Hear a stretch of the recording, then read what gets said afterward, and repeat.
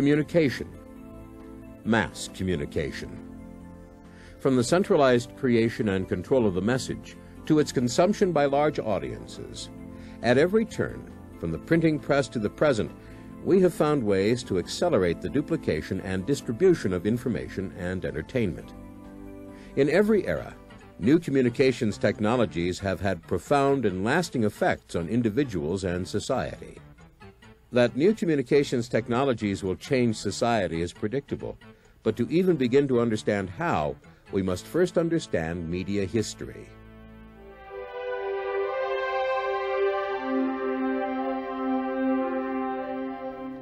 As we have moved, grown from nomadic tribes to farms to urban dwellers, our means of communication have advanced along with us. Over the years, how we communicate has been an important measure of our development into a complex society. Knowledge TV Retro, brought to you by Jones International University, the first fully online accredited university. Change your life for the better on your schedule. Eight week classes begin next month. Visit jiu.edu to find out more. If you go back through the history of communication, you can trace some of these revolutions. For example, the discovery of an alphabet, the discovery of writing, the discovery of the printing press, the discovery of electronic media. Before writing, we have a rich heritage of oral culture. We have storytellers, creators, and we have traveling minstrels. The kind of mass communication that you had before, uh, writing became widespread, and uh, uh, that really doesn't occur until after printing. Um, took the form of somebody standing up and speaking as loudly as possible. So the art of oratory that was so very important in the medieval period or in classical times begins to diminish in importance after printing. What the printing press did um, was make the possibility of the amplification of the message larger. And by amplification, I mean the capacity for one speaker to reach many listeners or receivers because it makes, what it did was make possible the reproduction of exact copies of a message for distribution to many people. What was difficult before the printing press was the, the production of many copies of that message. Um, certainly, they did copy messages, you know, the scribes, um, monks who, who produced copies of manuscripts, but it was very laborious, very time consuming. Um, it was very difficult to make very many copies, and it was practically impossible to make exact duplicates because in the process of transcribing, we know now from looking at that history, the message changed. There was always a process of interpretation that went on there so that over time a text would not remain identical. The printing press makes identical copies, multiple identical copies possible. Something else was going on, however, as well that is tied almost from day one back at the, the rise of the Gutenberg newspapers or the Corantos of the 16th and 17th century that carries on into the industrial period, which was there was a very strong commercial drive associated with, with the printing press as well. Some of the first um, one sheet uh, newspapers really weren't about politics or even religion at all. They were about business news. They were the uh, shippers in Antwerp wanting to know when the boats were coming in from London and, and what, what the manifest, the cargo manifests held, what the prices were for particular goods in, in different ports around, around Europe. So it's very, very interesting that the mass communication, the origins of mass communication, are very much tied to a fundamental kind of commercial process as well. And people would actually pay for this information because it was very valuable to their, to their enterprises. Through the mass production of print materials to reach broad audiences, the concept of mass communication arose and took on definition. First through printing presses, then steam, then high-speed presses, we increased our ability to rapidly create identical copies of information. In the United States, the mass communication concept was built on the 19th century industrial factory model. Centralized mass production for large general audiences. The notion that this new industrialized form of communication, whether it was print or whether it was film or ultimately radio and television, could be thought of as a product to be bought and sold. And that was very much, I think, a major change in the notions of communication that the industrialized period made possible. Again, not a, not a new idea entirely. It was there from the early days, back in the, the, the 15th and 16th century at least, but it became more salient. It became a bigger portion of it. So it's a broad sweep of changes that takes place both in the technology and in the social and cultural interactions with them. And those changes emerge over a period of time. They aren't overnight.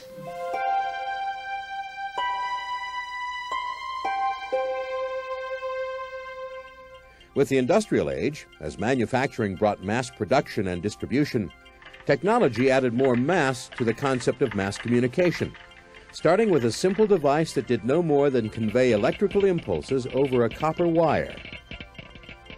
The telegraph is, is the beginning of what we think of as sort of the electronic electrification of communication. And what it did was separate transportation from communication because before the telegraph, while we had the capacity to mass reproduce a message with the printing press, the movement of that information was restricted to whatever technologies existed to move people and goods across the land, across geography, so that the pace, the, uh, the speed at which messages could travel were dependent on what were the existing states of the technologies of transportation. The importance of telegraphy was enormous, and we think of ourselves as living in a society that changes very rapidly. But consider what it was like to live in a society that before telegraphy, the upper ceiling on the speed of the movement of any message or any person was the horse. Uh, telegraphy changed this totally and made it possible to move messages in ways that were previously unheard of, which seemed utterly magic.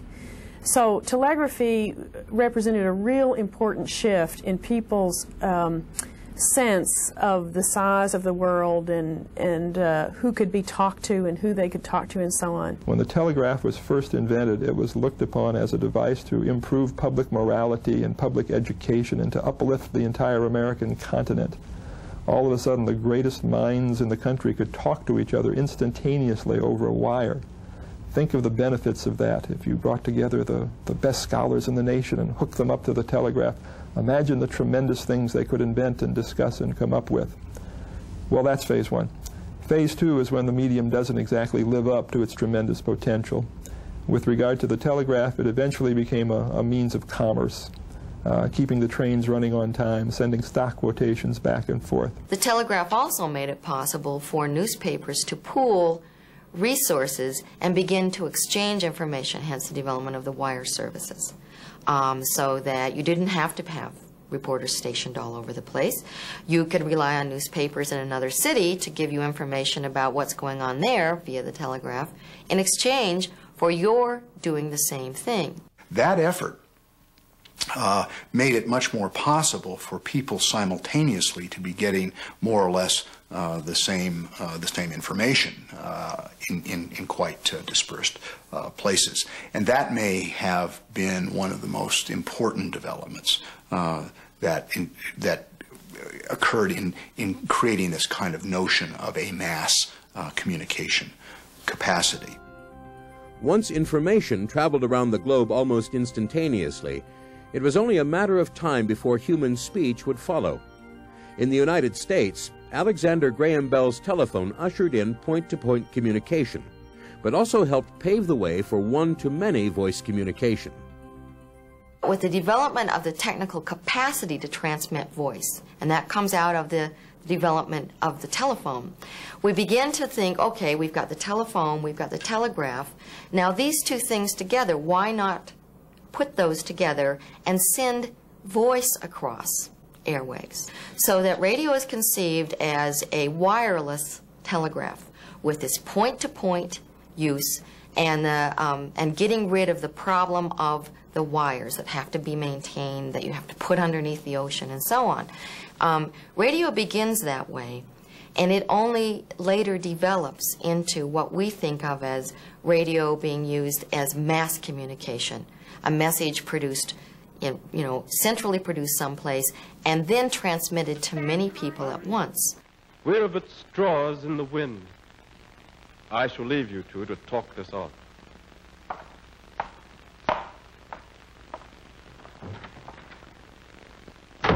I'm sorry, Mrs. Black. There's no use talking. You must give him up. You dare to talk to me like that, you love thief?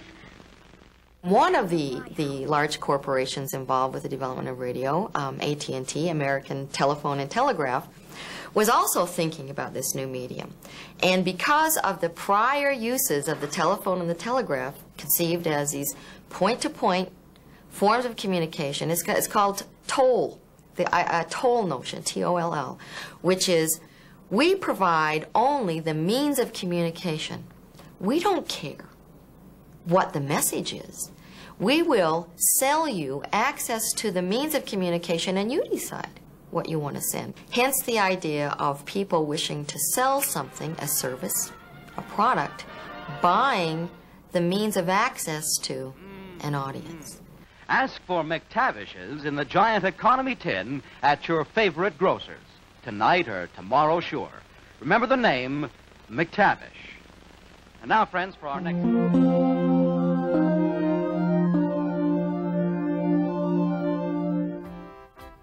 Long before radio became so pervasive, most people left their homes several times per week to go to the movies for entertainment.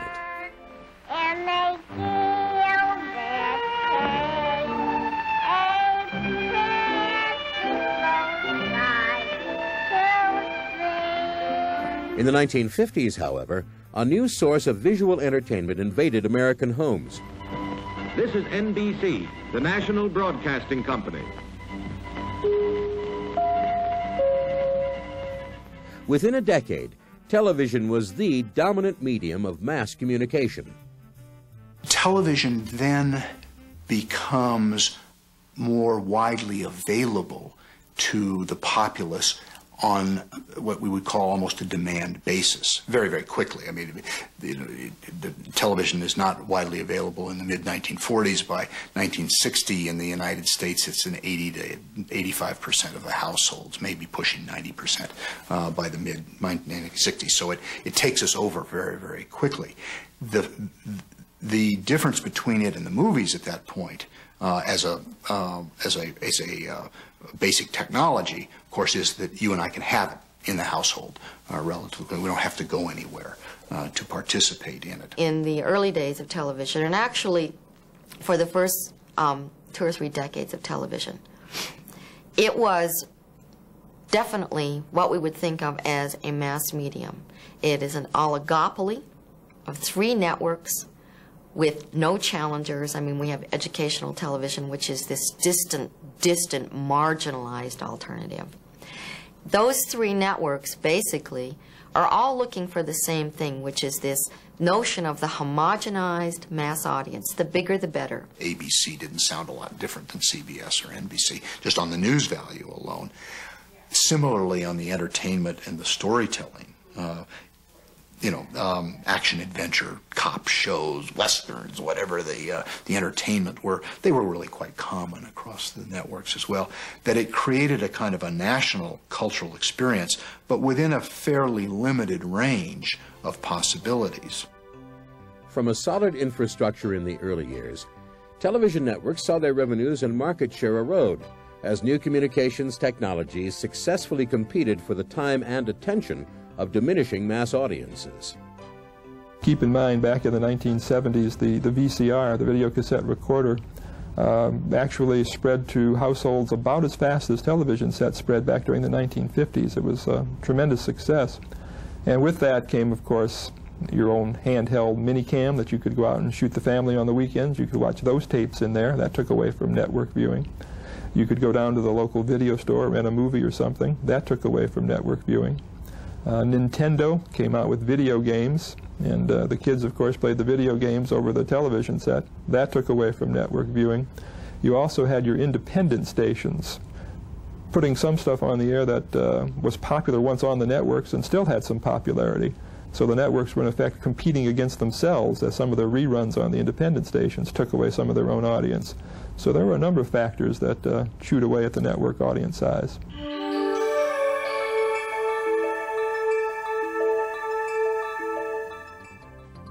Perhaps, by more than anything, network television was undermined not by some other communication media, but by more television. Arriving first by copper wire strung over mountain tops, then to the suburbs, and later by satellite to everyone, everywhere. Cable raises the issue of a broader spectrum capacity. It starts to do that in the late 60s and the early 70s when it begins to dawn on people that if you had something like a coaxial cable or ultimately a fiber optic distribution system, you wouldn't be limited to as few frequencies as we are in what we call erroneously over the air uh, broadcasting. So the notion that you could have more television or radio stations, I mean, vastly uh, more of them, uh, becomes a new idea. With the launching of uh, satellites in the mid 70s and the use of them by HBO and uh, Ted Turner with, with WTBS, uh, we have a very cheap and efficient way of distributing information nationally. And thus, it's at that point, when that technology is in place, that we have the explosion of the MTVs, ESPNs, CNNs, all, all of these, basically launching in the late 70s, early 80s. This radically alters the communication environment because people are no longer tied to broadcast television, which is designed to appeal to as many people as possible.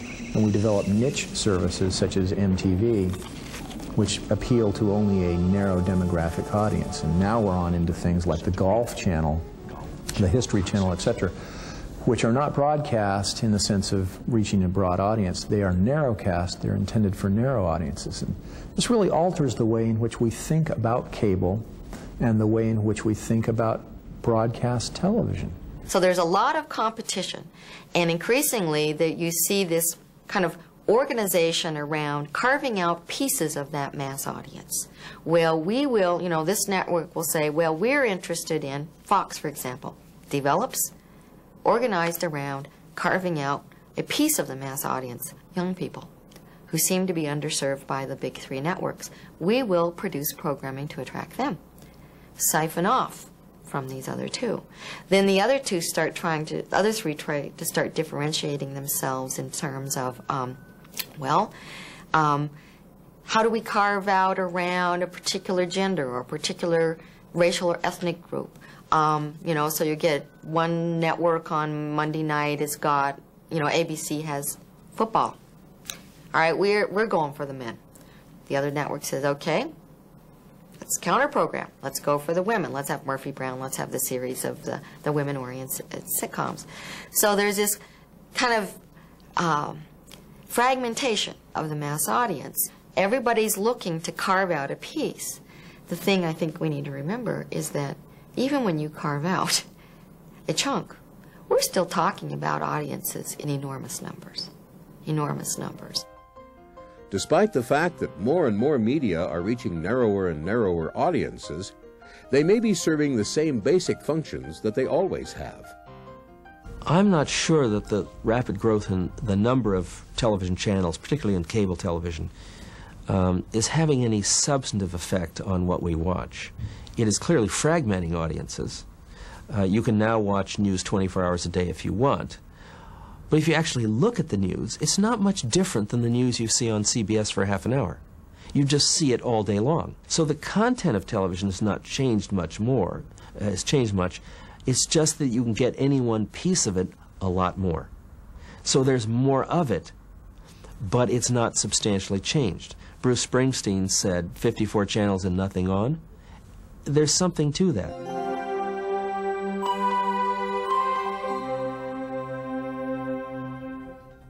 Cable television in the 1980s and direct-to-home satellites in the 1990s opened up a multi-channel world of information and entertainment. On desktops, the World Wide Web connected the world and put a new kind of communication power in the hands of groups and individuals. Now, traditional media are converging with new media to create an ever expanding universe of communication. If you think of the television screen as something that is married now to the computer as well and has the same sources of information available to it that we can now get on the internet, combine those two things and you begin to see a world of information, the likes of which nobody has ever had access to before.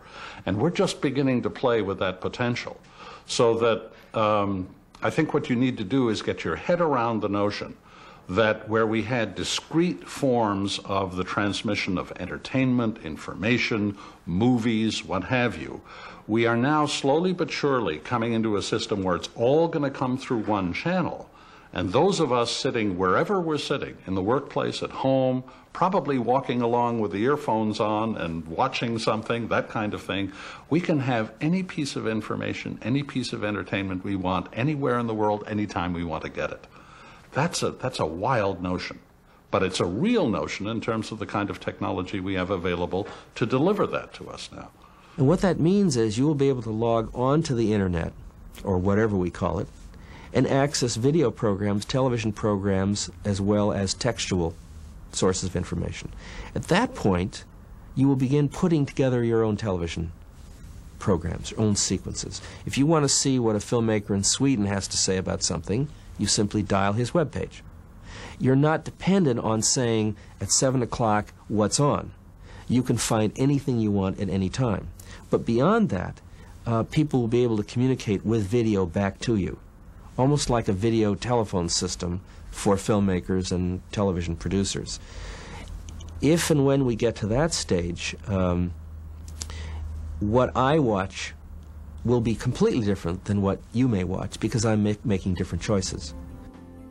The profusion of media alternatives are changing not just the lives of individuals, but of traditional mass media corporations. We're in an enormous period of transition in the mass media uh, system um, for in, in a number of different ways. First, I would say that we're going through a period of fractionalization which is since the late 1970s, uh, uh, over the last decade and a half and more, we're going through a period of fractionalization in which more and more media channels are being offered to people in the United States and also around the world. So fractionalization is a big thing. The second big change is globalization. The media are increasingly a global phenomenon, and media conglomerates are increasingly global entities, and not just American entities. Um, and so today, anyone who works in an upper level position within the media has to understand that companies make their revenues not just within the United States, but particularly in the audiovisual media like television and movies, foreign markets are incredibly important. So we have fractionalization, we have globalization, and we also have conglomerization. Conglomerization is a a phenomenon that has been building steam over the last several decades. But media conglomerates, uh, more and more in the last 15, 20 years, uh, have become very interested in moving their material across media boundaries. It used to be that each part of what is now the giant communications or telecommunications industry was a discrete industry, so that you had the movie industry, the television industry, the computer industry, the telephone industry, all of them were separate. They tended to be dealt with by regulators who dealt with them each on their own. What's happened now is that the boundaries between sectors have eroded.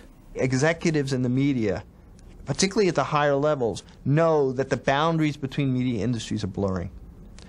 For a person who's not interested in going into media, it's still terribly important to understand media industries because these are the organizations that create an environment of symbols that surround us. Most of what we talk about every day, most of what we see about the world every day is filtered through media. It's filtered through companies that, that basically construct worlds for us.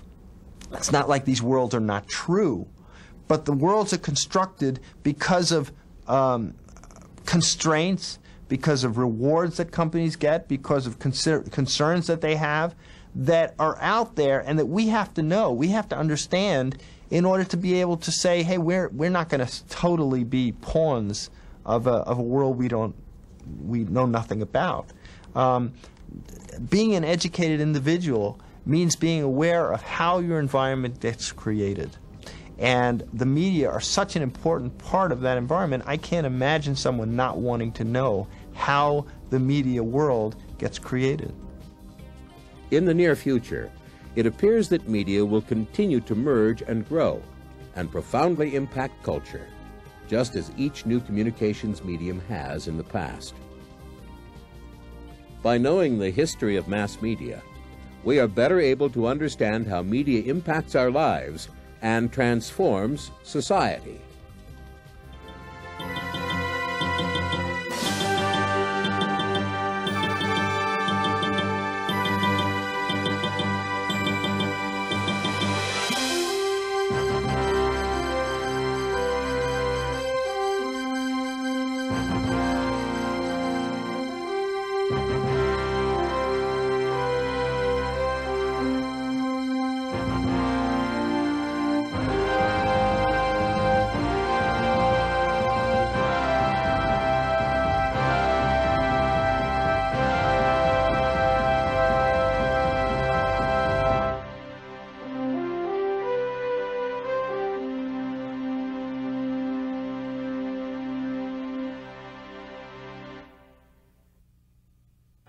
Knowledge TV Retro, brought to you by Jones International University, the first fully online accredited university.